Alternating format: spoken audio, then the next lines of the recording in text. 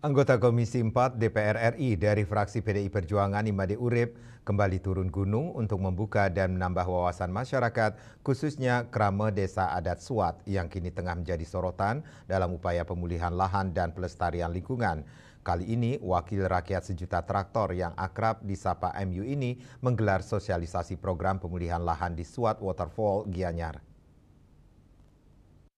Bantuan program penanaman dan pemulihan lahan yang diguyur senilai total 600 juta rupiah itu berkat perjuangan dan uluran tangan Made Urip yang juga Ketua DPP PDI Perjuangan membidangi koperasi dan UMKM dengan bekerja sama Kementerian Lingkungan Hidup dan Kehutanan KLHK untuk anggaran tahun 2024. Program ini mencakup kegiatan yang diawali dengan penanaman bersama secara simbolis pohon manggis dan tinggi yang diharapkan dapat mengangkat desa adat Suat sebagai destinasi wisata agro yang berbasis lingkungan hidup. Kegiatan ini didukung penuh oleh kelompok masyarakat gerakan menjaga sungai dan hutan Desa Adat Suat untuk mengoptimalisasi peran serta masyarakat desa wisata dalam pemulihan lahan dan menjaga keberlangsungan lingkungan hidup. Seperti diungkapkan Ketua Kelompok Masyarakat Gerakan Menjaga Sungai dan Hutan Desa Adat Suat, Ngakan Made Budiase, sebagai penerima bantuan dari aspirasi yang diperjuangkan oleh Made Urip sudah sangat dirasakan oleh masyarakat di Desa Adat Suat. Pada intinya dengan bantuan yang diberikan dari Bapak Arif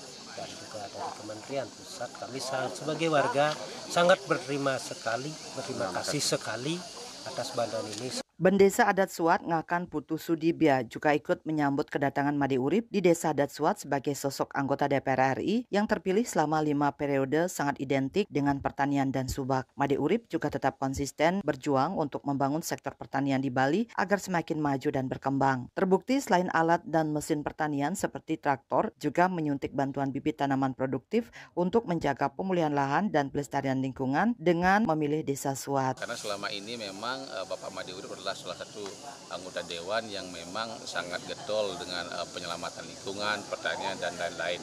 Dan hari ini bersyukur Bapak Urip bisa datang langsung ke Suat sehingga diharapkan mampu memberikan sebuah semangat motivasi kepada kami untuk bagaimana tetap menjaga alam Bali. Di sisi lain, Kepala Dinas Lingkungan Hidup Kabupaten Gianyar, Nimade Mirnawati mengakui tidak salah masyarakat Bali khususnya di Gianyar memilih Made Urip sebagai wakil rakyat yang selalu berjuang untuk masyarakat bawah, terutama para petani dan krama subak. Ditegaskan kembali Direktorat Pengendalian Kerusakan Lahan KLHK yang diwakili oleh Safrudin selaku Koordinator NSPK menyampaikan program pemulihan lahan dari KLHK ini setiap tahunnya selalu dialokasikan dari 14 lokasi lahan di seluruh Indonesia salah satunya Desa Suat. Oleh karena itu, Desa Suat satu-satunya lahan yang dialokasikan di Bali sebagai wujud bantuan aspirasi dari Made Urip. Program pemulihan lahan di Desa Adat Suat ini merupakan dana aspirasi dari Komisi 4 DPR RI, yaitu Pak Urip.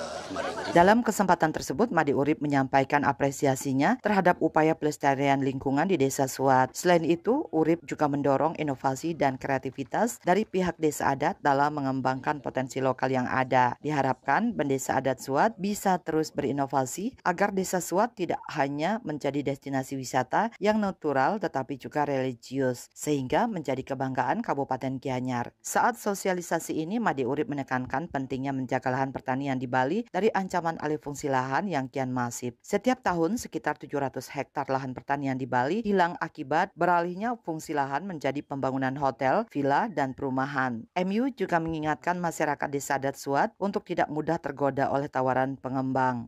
Untuk saya lihat di SWAT ini tadi kanan kiri masih subaknya masih terjaga dengan baik. Saya berharap kepada juru berisadat jangan sekali-kali diberikan para pengembang masuk ke desa adat Bapak itu. Made Urip yang telah mengabdi selama hampir 25 tahun di DPR RI yang terpilih dengan 255.130 suara terbanyak di Dapil Bali dan ranking ketujuh nasional itu juga menegaskan pentingnya menjaga kelestarian subak di Bali sebagai warisan leluhur. Program pemulihan lahan di Desa Suat ini diharapkan tidak hanya melindungi lahan pertanian tetapi juga memberikan kontribusi positif terhadap ekonomi lokal melalui pengembangan wisata agro. Dukungan dari pemerintah pusat, DPR RI, serta masyarakat desa adat diharapkan dapat memastikan keberlanjutan program ini di masa depan. Indrawan Bali TV.